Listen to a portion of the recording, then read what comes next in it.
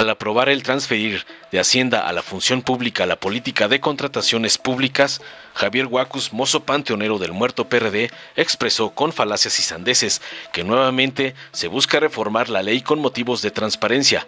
El actual gobierno ha estado disque plagado de corrupción y con la reforma se nos indica que ha sido dentro de la Secretaría de Hacienda. Hoy se busca que la Secretaría de la Función Pública sea la que se encargue de comprar todo lo que el gobierno necesite. Segalmex será una al lado de lo que se planea con esta reforma, espetó Falsario. Se pretende, agregó el mentiroso, centralizar, normar y remover a las personas titulares de las unidades de administración y finanzas, simplificar la estructura administrativa de los órganos internos de control y facultar a la SFP para concentrar las contrataciones gubernamentales. Vamos a ser vigilantes de que la Secretaría, con estas nuevas facultades, no siga cometiendo delitos, fantaseó finalmente.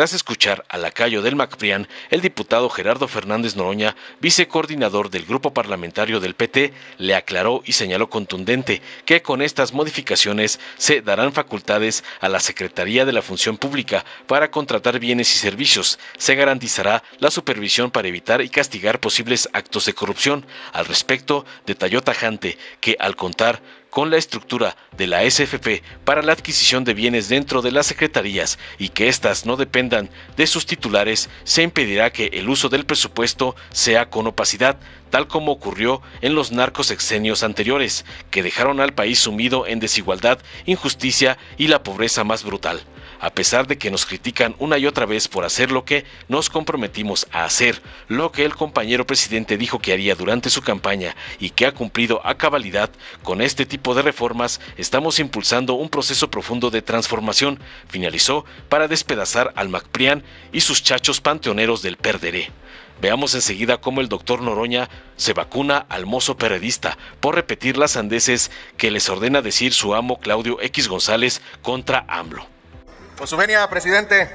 Adelante, por favor. Como dice Paquita del barrio, rata de dos patas, te estoy hablando a ti. Ojalá, ojalá que propongan cambiar su logotipo ante el INE y este logotipo les quedaría perfectamente porque de eso sean, ahorita se los vamos a regalar, les vamos a hacer llegar el diseño, porque miren cómo gritan, cómo se ponen alterados, les queda bien el saco. Y voy a iniciar mi intervención recordándoles que en el 2018 votaron, aprobaron con su mayoría una reforma a la ley orgánica de la administración pública para darle a la Secretaría de Hacienda todo lo correspondiente a las compras. Les quiero preguntar, ¿qué pasó? ¿Por qué ahora este cambio tan repentino en su gobierno? Nos presentan una iniciativa con el intento de control por parte del Poder Ejecutivo para que la institución que quieren que sea juez y parte, la Secretaría de la Función Pública, la que se encarga de sancionar las faltas administrativas de los servidores públicos, ahora se encargue de comprar todo lo que el gobierno necesite. Definitivamente comienza el año de Hidalgo y chingue su madre el que deje algo, en esa situación están, compañeras y compañeros. Segalmex, Segalmex será una pequeñez al lado de lo que planean con esta reforma. Y esta reforma tiene tres grandes cambios, por si no la leyeron. Uno, centralizar, nombrar y remover a las personas titulares de la unidad de administración y finanzas. Dos, simplificar la estructura administrativa de los órganos internos de control. Y tres, facultar a la Secretaría de Función Pública de concentrar las contrataciones gubernamentales e injerencia en las negociaciones comerciales internacionales. Bueno, el grupo parlamentario del PRD felicita a su gobierno por la honestidad, tener el valor de venir a esta Cámara a reformar nuevamente la ley con los motivos de transparencia. Su gobierno ha estado plagado de corrupción y con esta reforma nos indican que ha sido dentro de la misma Secretaría de Hacienda.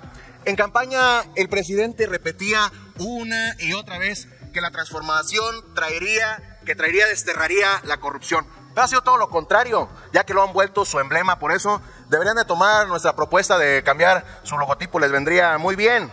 Su gobierno está plagado de ratas de cuello blanco. Como dicen por ahí, no escupas al cielo que te puede caer en la cara.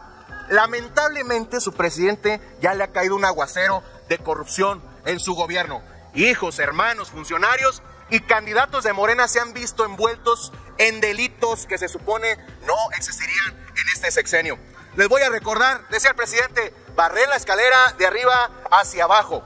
Ah, pero hay que recordar lo que pasó en la CEP, 830 millones de pesos desviados por su actual candidata Delfina Gómez, que hoy quiere ir a saquear el Edomex. Vamos a ser vigilantes de que la Secretaría de la Función Pública, con estas nuevas facultades que le van a dar ustedes, ustedes van a ser los responsables, no sigan cometiendo estos delitos. Recordemos también los ventiladores de Manuel Bartlett, utilizaron la pandemia para saquear esta nación. Y les recuerdo, como menciona José Antonio Crespo, en la lógica de primaria de este gobierno, ¿para qué el INAI si está la función pública? ¿Para qué el INE si hay gobernación? ¿Para qué el tribunal si hay consejería jurídica? ¿Para qué Bancomex si hay hacienda? ¿Para qué el INEGI si hay una Secretaría de Economía? ¿Para qué legislativo y judicial si hay ejecutivo ustedes hacen lo que les ordenan diariamente? Pero miren, estamos a 17 meses de que Andrés Manuel entregue el poder a uno de nuestros candidatos o candidatas de la alianza y no vamos a descansar hasta exponer todos los actos de corrupción que han cometido. Declararon una guerra contra la corrupción, pero jamás se imaginaron que esta debía ser una lucha interna en la esfera de confianza y más cercana del presidente. Desde el PRD reprobaremos todas las medidas autoritarias de este gobierno y vamos a seguir defendiendo a nuestra patria si es que la vida nos cuesta. ¿Es cuánto, presidente? Gracias, diputado presidente. Estamos a punto, no sé si de, de romper un récord de trabajo ininterrumpido de 24 horas, pero estoy cierto que hemos roto el récord de horas y horas del mayor número de mentiras, de patrañas, de intrigas, de denuesto, en un debate donde lo que está a discusión son dos visiones de nación históricas. Las de los tatarabuelitos de la oposición que fueron a Francia a pedir que mandaran un príncipe extranjero y que siguen igual, que han usado el presupuesto como si fuera suyo, que han sumido al país en la corrupción, en la desigualdad, la injusticia, la pobreza más brutal. Y nosotros que estamos impulsando un proceso profundo de transformación, fíjense nada más a dónde llega la hipocresía de la derecha. Lo que está se va a decidir en un momento es tener la estructura de la función pública con que los gobiernos del PRI y del PAN funcionaron con los responsables de esa vigilancia dentro de la función pública, que no dependan del titular de la secretaría respectiva, para que tengan un mayor margen. Pero además la Auditoría Superior de la Federación, que es un órgano de este poder legislativo plural, la tienen ustedes. Y la Comisión de Vigilancia la encabeza la oposición. Eso está garantizada la vigilancia para evitar en lo posible y castigar cuando se den actos de corrupción.